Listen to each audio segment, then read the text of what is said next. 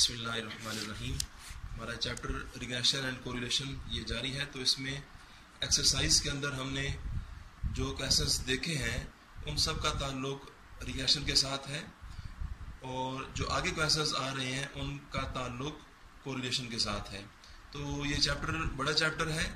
हम ये करेंगे कि रिग्रेशन के जो क्वेश्चन देख लिए हैं, अब हम रिग्रेशन से मुतालिक थेरी देख लेते हैं। और फिर बाद में कोरिलेशन के क्वेश्चन और उनकी थ्योरी देख लेंगे। रिग्रेशन की थ्योरी देखने से पहले आपको चाहिए कि क्वेश्चन नंबर टू और थ्री इन पर गौर कर लीजिए। अभी टू की बात कर लेते हैं। यहाँ पर यह था हमारे पास दो वेरिएबल से एक्स और वाई इनकी वैल्यूज़ दी हुई थी। Determine the value of Y had when X is seven यानी X is equal to seven ये बता दिया गया था और वाई की वैल्यू को डिटरमिन करना था वाई को मालूम करना था। तो ये अमल जिसमें एक वेरिएबल की वैल्यू मालूम हो और दूसरे वेरिएबल की वैल्यू मालूम करनी हो, ये अमल रिग्रेशन कहलाता है। यानी हमें यहाँ रिग्रेशन पर काम करना था। जो वेरिएबल जिसकी वैल्यू बता दी जाती है, ये वेरिएबल कहलाता है इंडिपेंडेंट वेरिएबल। जबकि जिस वेरिएबल की वैल्यू को मालूम करना हो, वो वेरिएबल कहलाता है डिपेंडेंट वेरिएबल। ठीक है? तो डिपेंडेंट होने की एक वजह और भी होती है, जिसकी यहाँ हमें उसकी ज़रूरत नहीं है बात में जाने की। तो इधर यह है कि हम ये करते थे कि एक्स और वाई के दरमियान जो इनके दरमियान वैल्यूज़ के दरमियान जो रिलेशन पाया जाता है, उस रिलेशन की मैथमेटिकल फॉर्म मालूम कर लेते हैं। तो ये इस तरह की इक्वेशन होती है। इस इक्वेशन में एक्स की जगह पर ये सेवन यहाँ पुट करते हैं। सेवन इसके साथ मल्टीप्लाई होकर पॉइंट थ्री एट के साथ और इसमें ऐड होकर तो वाई हैड की वैल्यू हमें मिल जाती थी।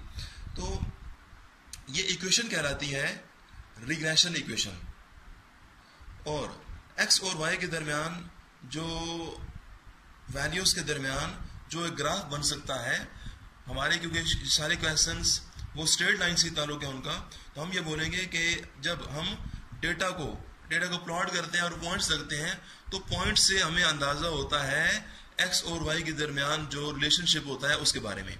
यानी अगर पॉइंट सीध जा रहे होंगे, हम बोलेंगे कि ताल्लुक एक्स वाई का स्ट्रेट लाइन का है, यानी लीनियर है।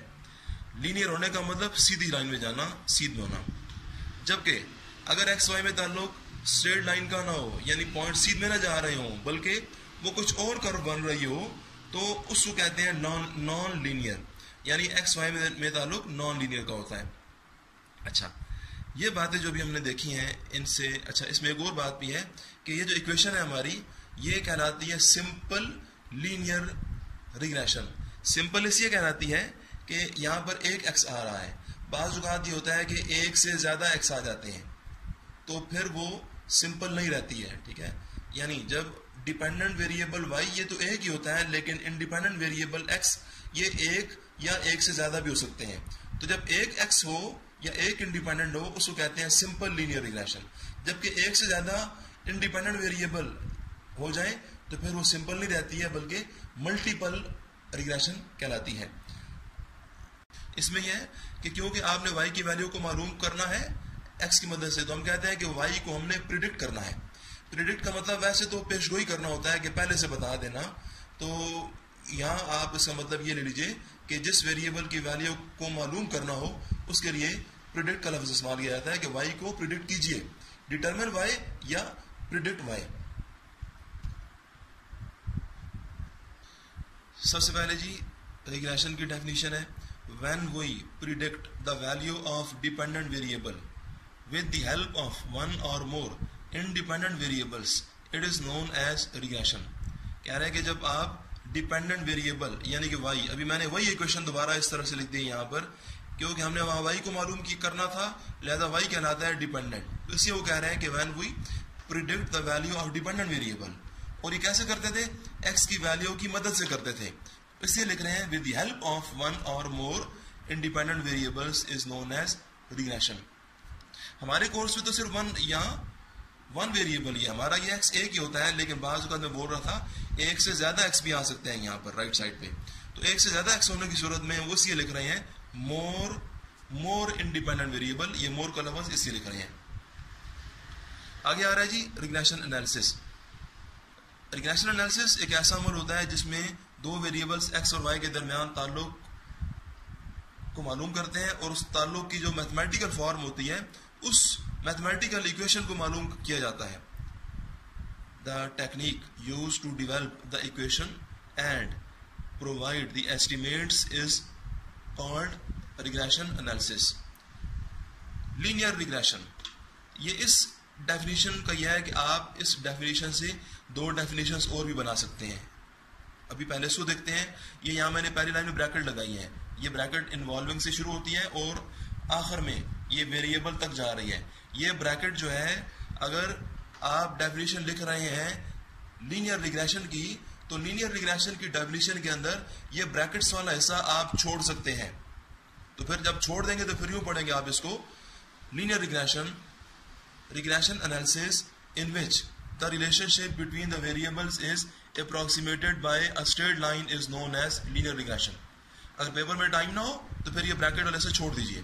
अच्छा अब है कि अगर लीनियर से पहले हम सिंपल लिख दें, यानी सिंपल लीनियर रिग्रेशन पेपर में यूँ आ जाए कि आप सिंपल लीनियर रिग्रेशन की डेफिनेशन लिखिए तो फिर आपने ये सारा लिखना है।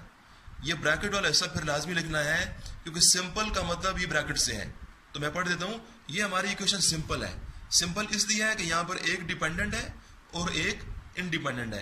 तो ऐसी इक्वेशन जिसमें एक डिपेंडेंट और एक इंडिपेंडेंट हो, वो कहलाती है सिंपल ये जेन में रखकर हम पढ़ेंगे। Regression analysis involving one independent variable and one dependent variable और आगे ये सारा हो गया। मैंने ये जो हिस्सा नया था पढ़ दिया।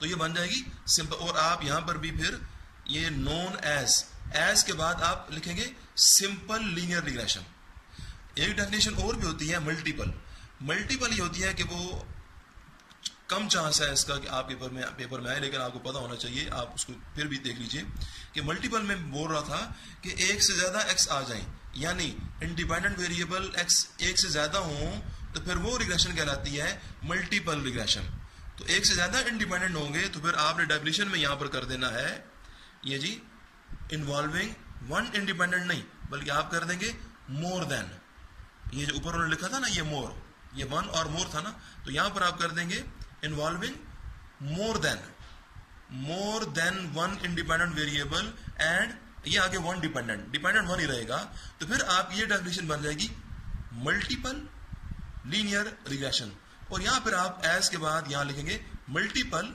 लीनियर रिग्रेशन ये जो मैंने बोली है, इस तरह से आप इनको अलग से लिख लीजिए। अच्छा फिर आगे आ रहा है जी नॉन लीनियर नॉन लीनियर का मतलब यह है कि जो जो रिलेशन सीधी लाइन का ना हो।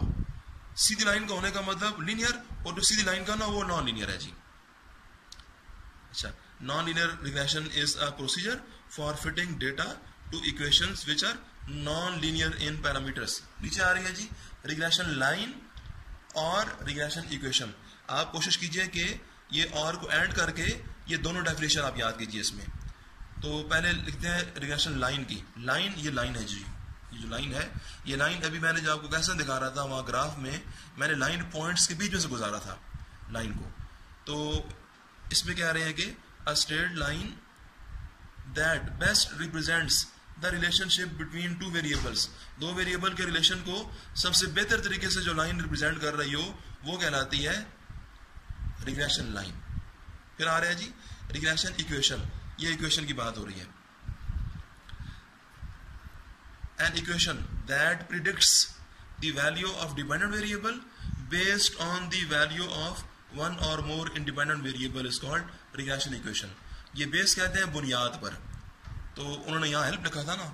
विद हेल्प ऑफ़ तो यहाँ पर कर रहे हैं on the base of base of यानी आपने वाई को एक्स की बेस पर मालूम किया है, यानी एक्स की मदद से मालूम किया है, यानी एक्स की बेस पर वाई की वैल्यू मालूम की जाती है। आगे आ रहा है जी सिंपल रिग्रेशन इक्वेशन ये सिंपल है जी। इसमें एक डिपेंडेंट और एक इंडिपेंडेंट वो सिंपल है। यानी regression equation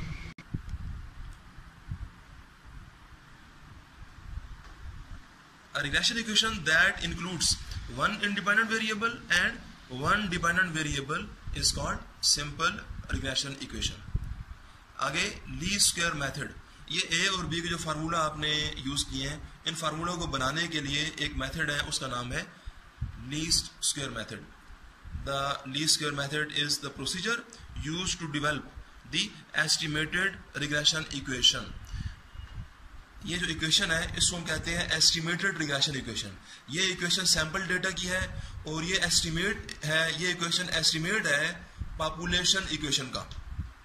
आगे आ रही है जी। इंडिपेंडेंट वेरिएबल और डिपेंडेंट वेरिएबल दोनों को इकट्ठा पढ़ लीजिए। हाँ जी, ये बात था।